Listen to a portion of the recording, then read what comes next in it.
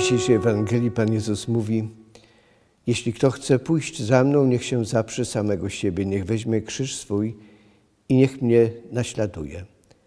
Drodzy pielgrzymi, Wasza pielgrzymka to jest właśnie takim codziennym, niełatwym zapieraniem się samego siebie, jest takim braniem krzyża własnego, własnego trudu, ale nie dlatego i nie po to, żeby dźwigać dla samego dźwigania i zapierać się dla samego zapierania się siebie.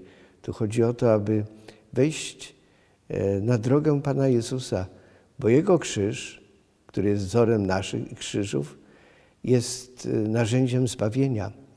On prowadzi nas do, poprzez cierpienie niewątpliwie, do chwały e, zbawienia wiecznego. I dlatego właśnie pielgrzymka w sposób szczególny uświadamia nam, dlaczego warto brać na siebie krzyż swoich codziennych trudów i obowiązków, dlaczego to ma znaczenie zbawcze, dlaczego możemy przez ten osobisty trud, złączony z trudem i krzyżem Pana Jezusa, razem z Nim zbawiać świat.